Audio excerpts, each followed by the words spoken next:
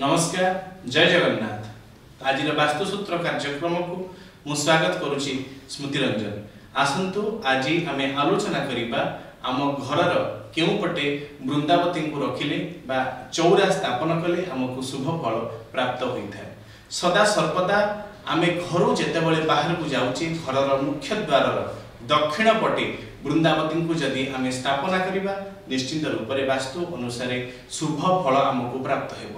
ଘରର ଘରୁ ବାହାରକୁ ଗଲାବେଳେ ଦକ୍ଷିଣ ପଟେ ବୃନ୍ଦାବତୀଙ୍କୁ ସ୍ଥାପନ କରିବା ବୃନ୍ଦାବତୀଙ୍କ ମୁଖ ସଦା ସର୍ବଦା ପଶ୍ଚିମ ଦିଗକୁ ରଖିବା ଏବଂ ଆମେ ପୂର୍ବ ଦିଗକୁ ମୁଖ କରି ବୃନ୍ଦାବତୀଙ୍କୁ ଯଦି ପୂଜା କରିବା ତାହେଲେ ନିଶ୍ଚିତ ରୂପରେ ଘରେ ଶୁଭ ଫଳ ପ୍ରାପ୍ତ ହେବା ସହିତ ଆମର ଆର୍ଥିକ ସମସ୍ୟା ଦୂର ହେବ।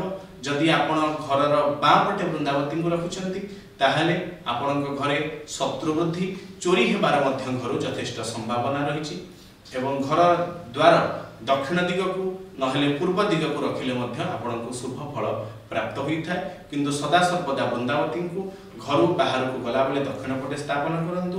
କେବେ ବି ବୃନ୍ଦାବତୀଙ୍କୁ ଘରର ଛାତ ଉପରେ ହେଉ ବାଲକୋନିରେ ହେଉ ବିଭିନ୍ନ ଲାଇଟ୍ ଯେଉଁ ଜାଗାରେ ସୂର୍ଯ୍ୟ କିରଣ ପଡୁନଥାଏ ସେ ସ୍ଥାନରେ ସ୍ଥାପନ କରନ୍ତୁ ନାହିଁ।